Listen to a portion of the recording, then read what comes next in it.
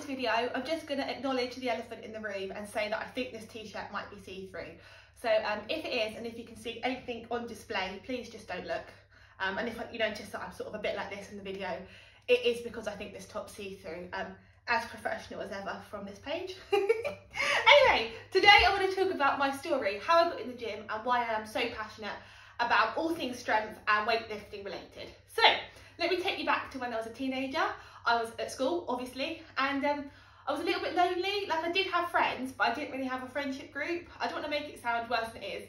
I wasn't like horrendously bullied or anything, but yeah, didn't really have much going for me. I'm very, very average or even below average academically. Um, socially, I'm not the best when it comes to uh, like group settings, and I was just pretty much forgotten about. I would say the sort of yeah, the person in the year that I'm not sure anyone would really remember, if I'm brutally honest. Um, so I didn't really have much. I was very shy. Um, I was obviously confident with the friends I did have, but I wasn't very outgoing and it wasn't the best time. I'm not going to pretend it was awful. You know, people have much worse teenage stories than that, but it was all pretty average if I'm brutally honest. And I think a lot of people are sort of in that boat where it's like, you know, it wasn't bullied, it wasn't like traumatized or anything, but it definitely wasn't a great time in my life. So I was quite lonely um, until I found.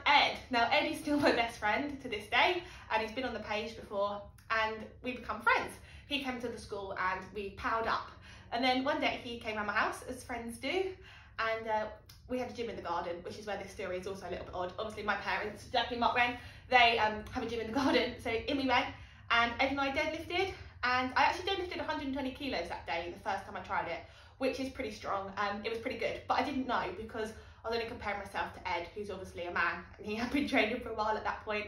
So I thought it was pretty average, but it, I now know it wasn't. That is pretty good. anyway, uh, fast forward a few weeks, I entered us both into a deadlift competition at King's Gym in Croydon, the original King's Gym. And uh, we went down there. I remember it was the 11th of April, so it was three days before my 17th birthday, I think it was. And so we were really young. Obviously, we couldn't drive at the time, so I asked my mum if she'd drive us down there. Now, um, if you know my mum, and not the celebrity trainer version of my mum, or not the district councillor version of my mum, but my real mum, um, the actual Jackie Wren, she is a Croydon girl, a proper Croydon girl. So luckily, she was willing to take me to probably um, Croydon's most hardcore gym, thankfully. Uh, very lucky that mum was willing to do this. And thankfully, mum wasn't scared because the original King's Gym was a proper gym. It was all painted black, it was full of bodybuilders, and it was amazing. And I remember walking in there and I lost my breath. It, I was speechless. That gym was just sensational. And anyone went that went to the original King's Gym site would tell you that there was something about that gym that was just oh, it was amazing. And anyway, I walked in and people shouting, people swearing, people proper training hard and it was amazing. I was actually speechless. I was looking around at um, all the muscly men and all the muscly women. I was thinking like, oh, this, this is my world. I just loved it. I remember looking at some of the guys in there and it was just amazing like looking at these people I was literally my jaw, jaw was dropped I was like oh, it was just amazing anyway I actually won that competition that day and um, that was the day my whole life changed uh, I owe a lot to that gym and also the people in there because uh, yeah everything changed for me that day it's actually quite emotional because it was just the best day ever um, won the competition and suddenly people recognised me um, I was no longer like that person in the background. People were asking me about where I trained, um, how long I've been training for. People were amazed that I was like 16. Um, also, I was saying, well, I train in the garden. um, it was amazing. That day was life changing, and winning that competition gave me a, a, real lot of confidence. Anyway, so then we were in sixth form at time, and finally Ed passed his driving test, and we didn't go to school much, but we were at that gym a lot, and that gym shaped my life, and I'm so grateful for it. Um, any lessons missed to go to King's, I do not regret. It was absolutely amazing there and I made so many friends and met the community and that's when I became a powerlifter. Um, when I was in there, it was absolutely amazing. A guy called um, Andy, he prepped me for my first powerlifting competition um, along with Ed. Ed and Andy prepped me, did powerlifting competition. I came second in the southeast, which was quite good. Um, Ed was there with me, he'll remember that day.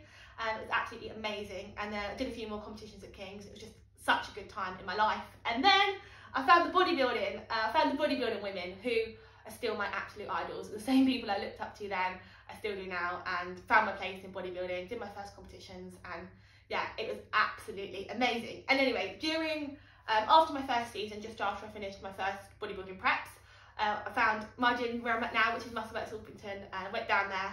I was actually on a date with somebody, but they took me to the gym, and we went down to Orpington, and when I was in there, the man behind the desk, who's Tom, who might be watching this, he actually offered me a job. He said, uh, oh, do you want to come and work here? And I just qualified as a personal trainer and I took the job there. And then again, my whole life leveled up. It was like going into King's, but even better, everything. I love that place.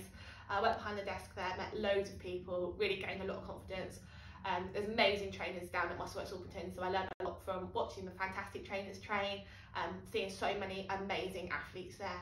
Um, Luke Sandoe, who passed away sadly now, but he was a bodybuilder, um, and we're lucky enough to work at his gym, so I saw him training a lot, which is just sensational, and I just love it still to this day. Um, um, yeah, started there, still train there now, and it's absolutely amazing. Still prepping for shows, and yeah, hopefully we're all just starting.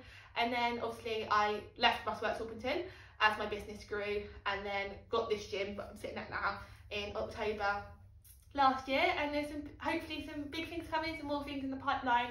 But yeah, that's my story up until now. If you want to hear any more about me specifically or any more of my story, let me know what you want to hear and give me some specifics and I'll do some more of these story times. But yeah, that's how I got to the gym and that is why I am so passionate about sharing training with as many people as possible because it is undoubtedly life changing and it will change your life.